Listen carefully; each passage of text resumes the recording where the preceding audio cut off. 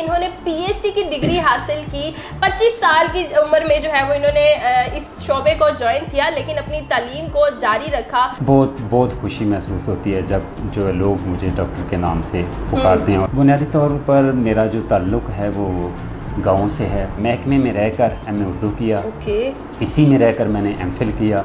और इसी महकमे की मेहरबानी से मैंने अब पीएचडी भी मुकम्मल कर लिया है। तो मैंने फिर रात का जो टाइम था वो ड्यूटी के लिए मुंतखब किया। फिर नीचे चलान कर देते हैं जिदा दिल करता चलान कर देते जिदा दिल नहीं करता चलान नहीं करते। हमारी सोच जो है वो मनफी ज़्यादा है मुस्बत काम है। तो चार सौ सफ़ात जो आपने लिखे है उसके पीछे सालों की मेहनत है जी सालों की मेहनत है। हमें मेहनत की आदत नहीं है। हम्म। और जो मेहनत है इस दुनिया की सबसे बड़ी हकीकत है। शराफत का सादत का ज़माना गया मोहब्बत और चाहत का ज़माना गया। तरक्की इस कदर हुई ज़माने में कि अब ख़त का किताबत का ज़माना गया।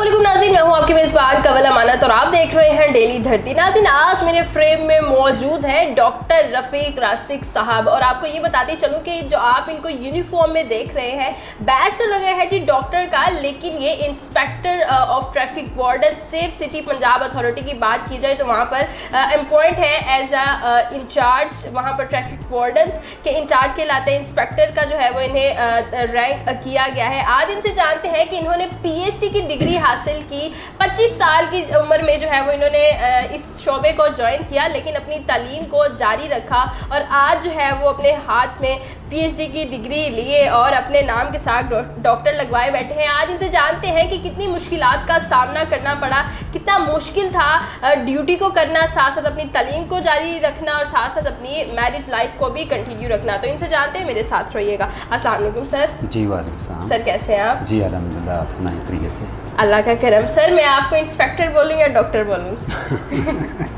इंस्पेक्टर भी हूँ और डॉक्टर भी हूँ। यही तो कह रही हूँ कि दोनों में से बोलूँ क्या आप मैं आपको? आप मुझे डॉक्टर कह सकते हैं आप डॉक्टर बोलेंगे मुझे ज़्यादा खुशी है। अगर महकमे के हिसाब से इंस्पेक्टर बोलेंगे फिर भी मुझे खुशी ज़बरदस्त। अच्छा डॉक्टर साहब मुझे ये बताएँ कि नाम के साथ डॉक्टर लग गया है इंस्पेक्टर भी आप। फीलिंग कैसी है?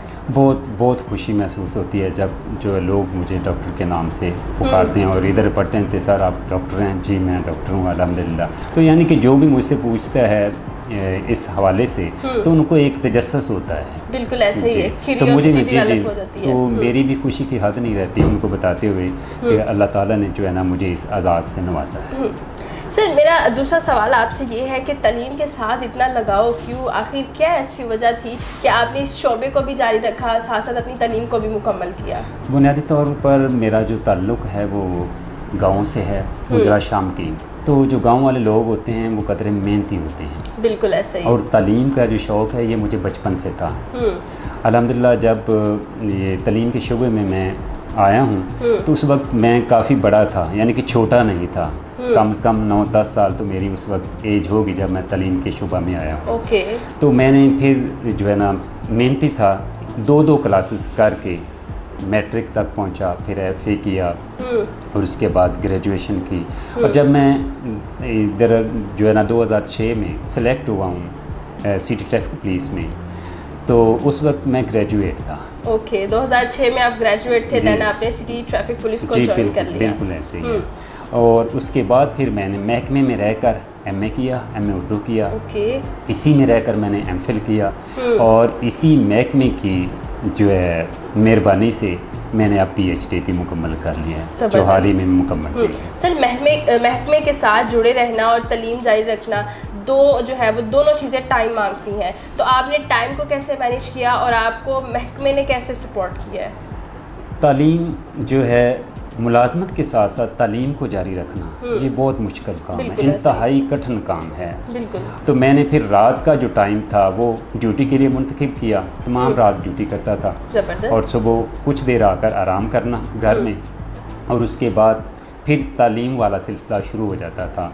यानी कि लाइब्रेरियों में जाना मुख्तलिफ़ इदारों में जाना वहाँ से मवाद इकट्ठा करके लाना। और फिर जब घर आता था तो जो है ना उनको कंपेल करना। ये कंपेल भी मैंने खुद की है। मैंने ये भी सुना कि आपका कुल असासा आपका एक लैपटॉप था। जी लैपटॉप से मुझे बहुत मोहब्बत है उनसे क्योंकि उसके ज़रिए और इस मोबाइल के ज़रिए। ओके करें इन्होंने मुझे इन्होंने मेरा बहुत साथ दिया। सर आपने 2023 में जो है वो अपनी पीएचडी की डिग्री को कंप्लीट किया।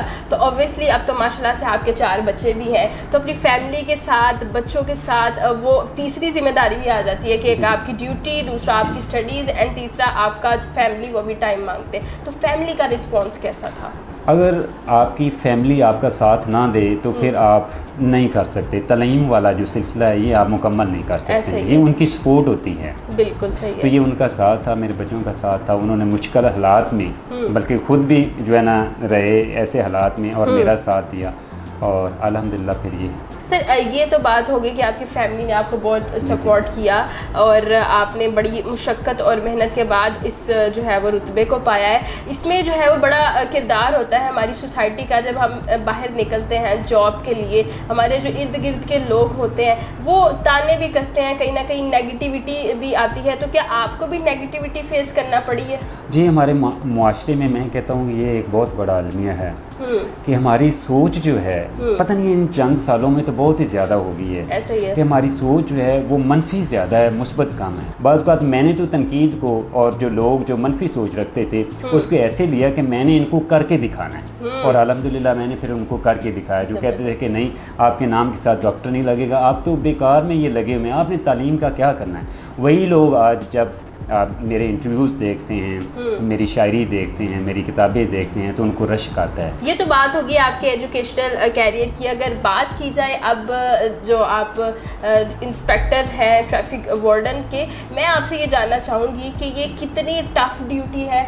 जब भी हम देखते हैं बेसिकली इस यूनिफॉर्म को देखते हैं तो मेरे जहन में यही सवाल आते थे जो मैंने अभी तक सुन रखे हैं कि जी चलान हो जाता है फ्री से चलान कर देते हैं जिदा दिल करता चलान कर देते हैं जिदा दिल नहीं करता चलान नहीं करते। क्या मुश्किल हैं? आजकल गर्मी का इतना शिद्दत दौर चल रहा है तो हर कोई जो है वो हाइपर हुआ होता है। कैसे कंट्रोल किया जाता है सारे मामला को? बेसिकली मैं जानना चाहती हूँ कि आजकल क्या रोल है इसका? जी मैं आपको बताऊँ। ट्रैफ़िक की ड्यूटी जो है ये ऑब्जर्वेशन है। हम्म। बल्कि ये साबित हो चुका है कि जो ट्रैफ़िक की ड्यूटी है हम्म। ये मुश्किल तरीन ड्यूटी है दुनिया की दुनिया हम्म। की मुश्किल तरीन ड्यूटी है। देखें ये तो हमारे लिए बहुत बड़ा चैलेंज होता है। यहाँ पर आपको हर तरह के लोगों से वास्ता पड़ता है। साफ़ियों से आपका वास्ता होता है लायर से आपका वास्ता होता है अफसरों से आपका वास्ता होता है। तो शुरू शुरू में तो हमें ये बहुत से मिसाइल का सामना करना पड़ा। लेकिन आहिस्ता आहिस्ता फिर हम यूज़ टू हो गए। अब हम मैनेज कर लेते हैं। देखिए शुरू शुरू में हम आए थे तो हमारी लड़ाइयाँ बहुत ज़्यादा होती थी। हम्म। बहुत ज़्यादा बहसों मुबासा होता था। अब नहीं होता। अब हमें भी शूर आ गया और हम्म। हमको पता चल गया है कि ड्यूटी कैसे करनी है हम्म। और अब हम ड्यूटी कर लेते हैं। तो बाकी रही चलान वाली बात तो चलान जो है ये मैं कहता हूँ कि एक फ़न है। आप जिसका चलान कर रहे होते हैं बिल्कुल। इकोनॉमिकली तो आप उसको वीक कर रहे हैं उसको तो गुस्सा आएगा हम्म। अब उसको गुस्सा आएगा ये एक्सपेक्टेड है लेकिन आपने अपने आप पर कंट्रोल रखना है अपने आप को अगर आप अच्छे अफसर हैं तो आप जो है ना कलम के ज़रिए उसको जो जुर्माना बनता है वो हम्म। आप उसको देंगे और इसी तरह से देना भी चाहिए आप जिसको भी रोकेंगे हम्म। ये एक नहीं उसकी दस वायलेशन होंगी। लेकिन ये तो अफसरान की मेहरबानी है वो कहते हैं कि चलो यार हमने इसको तमाम वायलेशन में थोड़ा चलान करना है इसकी जो मेजर वायलेशन है जो कोई एक वायलेशन है उसमें वो उसको टिकट दे देते हैं। मेरा सेकंड लास्ट आपसे क्वेश्चन ये है कि जहाँ पर हम लोग आजकल के डिजिटल एरा में देख रहे हैं कि हमारे तमाम पाकिस्तानी शॉर्टकट्स ढूंढते हैं और हमारा एक ये बड़ी एक टाइटल लाइन बन चुकी है। पाकिस्तान में एजुकेशन सिस्टम स्ट्रॉन्ग नहीं है। आपने इतनी तालीम हासिल की है पी तक आप पहुँच गए हैं। तो आपको क्या लगता है हमारा एजुकेशन सिस्टम अगर आपको कहना पड़े इसके ऊपर एक दो मिनट बोलना पड़े तो आप क्या कहेंगे एजुकेशन सिस्टम पर अगर एजुकेशन की बात करें तो बाहर के मुकाबले में हम्म। हमारा जो तालीम का निज़ाम है वो इतना अच्छा नहीं है। हम्म। जो है ना मैं ये कहूँगा कि हमें मेहनत की आदत नहीं है। हम्म। और जो मेहनत है इस दुनिया की सबसे बड़ी हकीकत है। बिल्कुल ऐसे मेहनत में अजमत है। ठीक है अलकासिब हबीबुल्ला जिसने मेहनत की वो कामयाब हुआ। और मैं आपके सामने हूँ इसकी ज़िंदा मिसाल। ठीक है ऐसे ही है। तो शॉर्टकट की बजाय अब देखें ये तहकीक वाला काम है जो मैंने किया। और मुसलसल दो साल इस पर मुसलसल इस पर काम करना पड़ा। हम्म। और फिर जाकर मैं ये 400 सफ़ात लिख कर ये हम्म। सामने लाया हूँ। बिल्कुल ऐसे तो, चार सौ सफ़ात जो आपने लिखे है उसके पीछे सालों की मेहनत है जी सालों की मेहनत है हम चाहेंगे कि आप कुछ सुनाए भी हमें फिर हम इजाज़त चाहेंगे। जी ज़रूर मैं आपको ज़माने के हवाले से जिसमें रोमानवी ही कह सकते हैं शराफत का सादत का ज़माना गया शराफत का सादत का ज़माना गया मोहब्बत और चाहत का ज़माना गया। मोहब्बत में ये शिकवे अब नहीं चलते मोहब्बत में शिकायत का ज़माना गया।